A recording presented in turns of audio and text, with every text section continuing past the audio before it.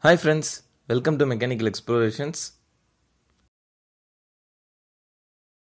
Now in this part we are going to see about the moment of inertia for a bicycle. Already we know the moment of inertia is defined as the sum of the products of masses of each particle in the body with the square of distance from the axis of rotation. That is simply I equal to mr square. Now we are going to apply this formula in a bicycle wheel. And then we are going to find the moment of inertia for a bicycle. So now in this image you can see the bicycle wheel which has a mass of 2 kg and its radius is 10 centimeter.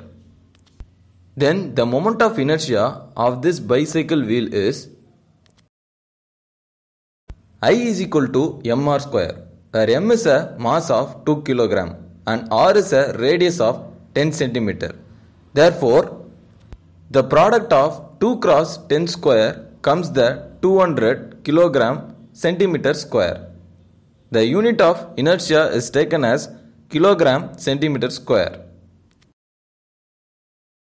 And hence, the inertia is termed as the body's tendency to resist the angular acceleration. So, 200 kilogram centimeter square of inertia is needed for resisting this angular acceleration of this bicycle wheel.